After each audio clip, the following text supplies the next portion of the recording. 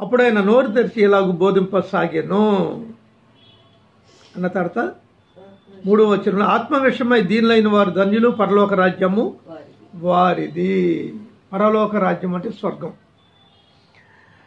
ఆత్మ విషయమై దీనిలైన వారు ధన్యులు.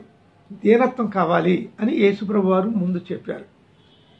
ఎవరైతే ఆయన ప్రజలుగా ఉండదలిచారో వారందరూ కూడా దీనులై ఉండాలి అని చెప్తున్నాడు గర్విష్ఠులై ఉండకూడదు పోట్లాడే వాళ్ళై ఉండకూడదు స్వార్థ ప్రియులై ఉండకూడదు బింకములాడేవారై ఉండకూడదు. ఇంకా ఎవరికి సహాయం చేయకుండా ఉంటారు కదా వాళ్ళు ఏమంటారు? పిసిరితనం పిసిరితనం.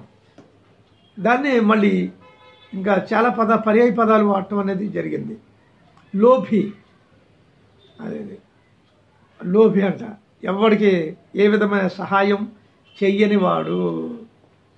అసలు అలాంటి వాడు ఎవడు కూడా నా దగ్గర రావద్దన్నాడు నా సంఘంలో చేరొద్దు అని చెప్పాడు అనమాట అందుకనే క్రైస్తవుడిగా ఎవడైనా ఉండదలిస్తే మంచి లక్షణాలు కలిగి ఉండాలి అని తెలియజేస్తూ మొదటి లక్షణం దీని గురించి చెప్తున్నాడు. ఏంటది?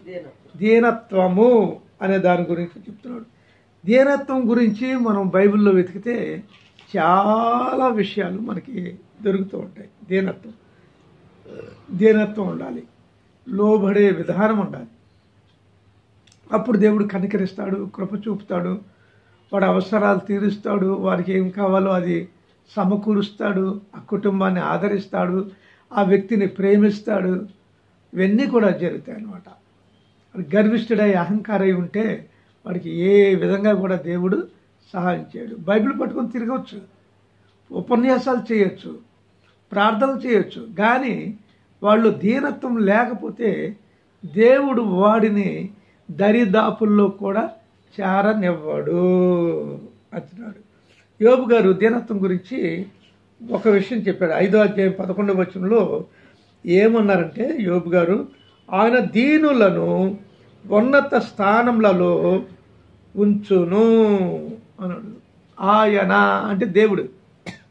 దీనులను ఉన్నత స్థలములలో ఉంచును అన్నాడు. దీనులను.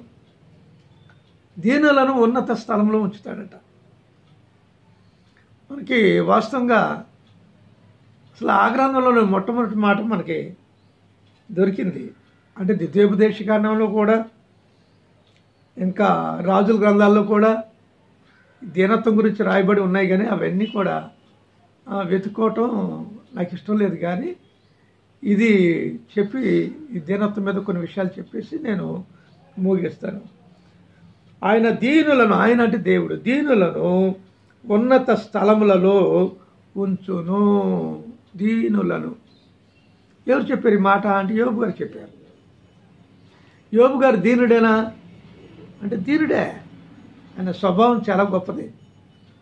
యోబు గారంత దీనత్వం కలిగిన వాడు అది ఎవరు మనకు కనపడరు. అంటే భక్తులు కనిపిస్తారు. భక్తులు కాని వారు ఎవరు కూడా మనకి కనపడరు. దీనులను ఆయన ఉన్నత స్థలములలో కూర్చుండబెట్టును నిలువబెట్టును ఉంచును. ఈ పదాలు కూడా పర్యాయ పదాలు. ఉన్నత స్థలములలో ఉన్నత స్థలం అంటే ఎత్తైన స్థలం అంటే ఉన్నత స్థలాలు ఎత్తైన స్థలాలు ఎక్కడ ఉంటాయి? పీఠాలు అవి ఏంటవి? పీఠము. ఇప్పుడు రాజు సంస్థానం ఉంటుంది. సింహాసనం మీద రాజుగారు కూర్చుంటాడు. రాజుగారికి ఎడం వైపున సైన్యాధ్యక్షుడు ఉంటాడు జనరల్. కుడివైపున ప్రధానమంత్రి ఉంటాడు. మిగిలిన క్రింద భాగంలో ఇంకో స్టెప్ కిందలో చిన్న చిన్న మంత్రులు సహాయకారులు వీళ్ళందరూ కూడా ఉంటారన్నమాట. వాళ్ళందరూ ఉంటారు. ఇప్పుడు అన్నాడు దీనులను ఉన్నత స్థలములలో కూర్చుండబెట్టును అన్నాడు. ఉన్నత స్థలములలో యోబు గారిని ఉన్నతమైన స్థలంలోనే ఉంచాడు. యోబు గారి గురించి మనం ధ్యానం చేస్తున్నట్లయితే అసలు మధ్య ఆసియాలో దక్షిణ ఆసియాలో మధ్య ప్రాంతం అంటాడు కదా ఆ ప్రాంతం అంతట్లో ఆసియా ఖండంలోనే అత్యంత విలువైన వ్యక్తి యోబు గారు. గొప్ప ధనవంతుడు. రెండవది గొప్ప జ్ఞానము కలిగిన వాడు మూడవది మంచి స్వభావము కలిగిన వాడు ఈ లక్షణాల వల్ల ప్రజలందరూ కూడా అతన్ని గౌరవించారు. ఈనాడు మనం మంత్రులను చూస్తాం. మంత్రులను చూస్తాం. ఒకరిని ప్రేమిస్తారు ఒకరిని ద్వేషిస్తారు.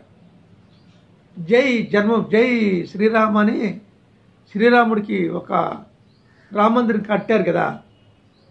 ఇప్పుడు అక్కడ జరిగేది ఏంటంటే మాకు కూడా ఐదు ఎకరాలు ఇచ్చారు కదండి. మా మసీదుని కూల్చేశారు కదా.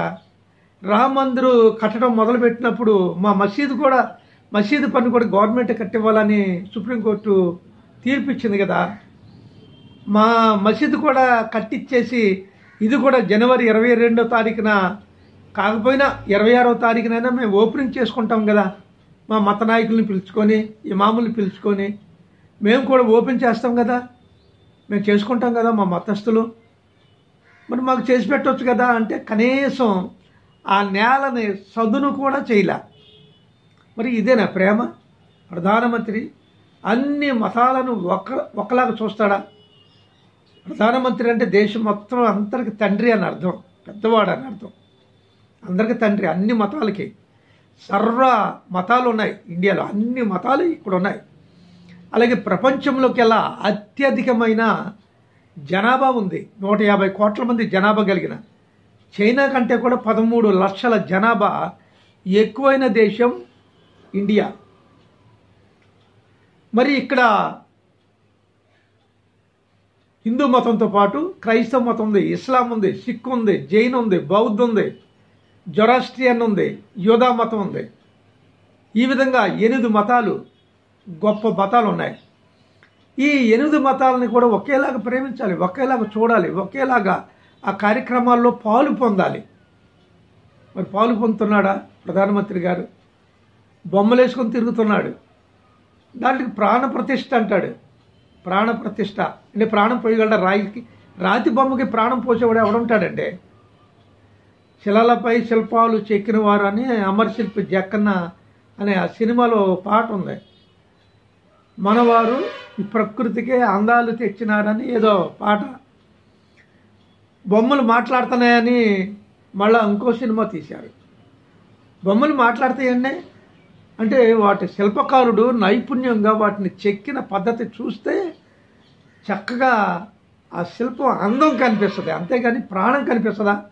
కాలు కదుపుద్దా చెయ్యి కదుపుద్దా తల తిప్పుద్దా శిల్పం. ఒక శిల శిల మీద రాతి మీద చెక్కబడిన ఆ శిల్పం. తల తిప్పుద్దా మాట్లాడుద్దా కన్నులుండి చూస్తాయా? కన్నులు చెక్కుతాడు కానీ కన్ను రెప్పలు వేయగలవా? లేకపోతే కళ్ళతో చూడగలవా? నోరుంది కానీ మాట్లాడగలవా? రుచిని చూడగలవా? ఏమీ చూడలే ఏమీ చేత కదా వాటికి వాటిలందుకు ఎత్తి పట్టుకుంటాం? వాటిని మోసుకుంటూ వెళ్ళి? బాలరాముడిని అంట మొన్న తీసుకొచ్చి మందిరంలో ప్రతిష్ఠించారట కూర్చోబెట్టాడట మరి రేపు ప్రాణ ప్రతిష్ఠ చేస్తాడు. అంటే ప్రాణం పోతాడు ప్రాణం పోతే ఏం చేస్తాడు ఆయన? బాలరాముడు అంటే ఆయన పగలంతా అయోధ్య అంతా సంచరించి అక్కడ ఉంటున్న కోటి మంది ప్రజలతో మాట్లాడి మళ్ళీ రాత్రిపూట అయినా నిద్రపోతాడు అక్కడ. ఆయన అక్కడికి పాన్పు వేయొచ్చు మంచం వేయొచ్చు ఏదేదో చేయొచ్చు ఈ ప్రజలు. కానీ అదేమన్నా ప్రాణం పోసుకొని లేస్తుందా అంటే లేగదు. లేగని దాని కొరకు తాపత్రయం ఎందుకు? ఉన్నదాన్ని చూసుకో నువ్వు బాగా చూసుకో. అందుకని అన్ని మతాలను కూడా ఒక్కలాగా చూసి చక్కగా అందరికీ కూడా క్రైస్తవులకు చర్చెస్. అలాగే ఇస్లాం మతస్థులకు మసీదులు. బౌద్ధ జైన రామాలు బద్దలు కొట్టేసేసి కట్టిన టెంపుల్స్ చాలా ఉన్నాయి హిందూ టెంపుల్స్. వాటి విషయం. ఇంకా జొరాస్ట్రియన్ మతానికి సంబంధించిన అవి అలాగే యోధా మతానికి సంబంధించిన ఇస్రాయేలీలు అంటాం కదా వారికి సంబంధించినవి కూడా. మరి అవన్నీ చూడటం అనేది మంచిదే. అన్ని మతాలను సమానంగా ఈ లౌకిక రాజ్యంలో సమానంగా చూడటం అనేది మంచిదే. అందరికీ అగ్రపీఠం వేస్తాడా? వేయడు ఆదిత్యనాథ్ అంటాడు. ఆదిత్య యోగి ఉత్తరప్రదేశ్ సీఎం ముఖ్యమంత్రి. ఆయనకి ప్రథమ స్థానం. తర్వాత డబల్ ఇంజిన్ అంటాడు. డబల్ ఇంజిన్ అంటే వెనక ఒక ఇంజిన్ ముందు ఒక ఇంజిన్. ఈ రెండు కలిసి ఎత్తైన పర్వత ప్రాంతాల్లో ఇంజిన్ పెట్లని లాక్కెళ్తూ ఉంటుంది. ఒకటేమో లాక్కెళ్తుంది ఇంకోటి తోస్తూ ఉంటుంది. అది డబుల్ ఇంజిన్. ఆ విధంగా అమిత్ షా ప్రధానమంత్రితో కలిసి అమిత్ షా డబుల్ ఇంజిన్ అనుకున్నారు. ఇంకెవడన్నా ఉన్నాడా? డబుల్ ఇంజిన్లో ఇంకా త్రిబుల్ ఇంజిన్ మూడో ఇంజిన్ ఎవడ లేడా? అంటే ఎవడు కూడా లేడు. త్రిబుల్ ఇంజిన్ అంటే రేపు మాపు. వీళ్ళలో ఎవడు కూడా అరే నేను రెండు సార్లు చేశాను ప్రధానమంత్రిగా మూడు సార్లు నేను చేయను. అమిత్ షా నువ్వన్నా ఉండు లేకపోతే ఆ ఆదిత్య యోగి అన్నా ఉంటాడు అని చెప్పేసి వాళ్ళు నిలబెడతారు. ప్రజలందరికీ ఒకటంటూ ఉండదు. ఓకే. ఈ ఇండియాలో ఇంచుమించుగా వంద కోట్ల మంది హిందువులు ఉండొచ్చు. హిందూ మతానికి సంబంధించిన వాళ్ళు. మిగిలిన క్రైస్తవ మతానికి సంబంధించిన ఈ తాగుబోతులు వీళ్ళు వాళ్ళు కలిసి డబ్బులు తీసుకొని బ్రాంతి చేసాలు తీసుకొని పలావ్ ప్యాకెట్లు తీసుకొని ఓట్లు వేసిన వాళ్ళు కూడా ఉండొచ్చు. ఏది ఏమైనప్పుడు కూడా ఎవడైతే ఓట్లు ఎక్కువగా వస్తాయో వాళ్ళు అగ్రస్థానంలో ఉంచుతారు. కానీ ఇక్కడ దేవుడు చెప్తున్నాడు ఏమని చెప్తున్నాడంటే ఆయన దీనులను ఉన్నత స్థలములలో ఉంచును.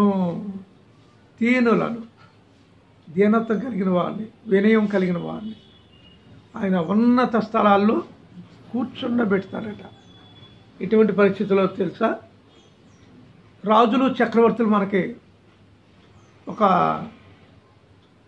రెండు వందల సంవత్సరాల క్రితం రాజులు ఉండేవాళ్ళు. అక్కడ దాకా ఎందుకు? బ్రిటిష్ కాలం వరకు కూడా రాజులు ఉన్నారు. విక్టోరియా రాణి ఇండియాని పరిపాలించారు. రవి అస్తమించని బ్రిటిష్ సామ్రాజ్యం అని పేర్కొనబడింది ఆమె రాణి రాణి పరిపాలించింది బ్రిటిష్ సామ్రాజ్యాన్ని. ఎలిజబెత్ రాణి కూడా పరిపాలన చేసింది. అది రాజరిక వ్యవస్థ కానీ ఒక విధంగా చెప్పాలంటే ప్రజాస్వామ్య దేశంలాగా ఉంటుంది అది ఇంగ్లాండ్ అనేది. అందుకని అన్ని మతాలకు కూడా అక్కడ స్వేచ్ఛ ఉంటుంది. ఆ విధంగా.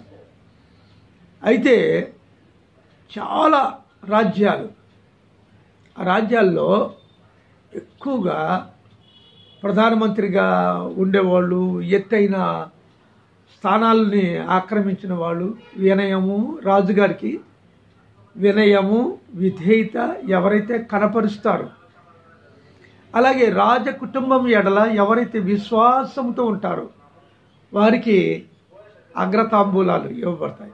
అగ్రస్థానాలు ఇవ్వబడతాయి అన్నాడు. అయితే దేవుడు తన ప్రజలకి వాగ్దానం చేసేది ఏంటంటే దీనులను ఉన్నత స్థలములలో ఆయన కూర్చుండ పెట్టును. దీనులను.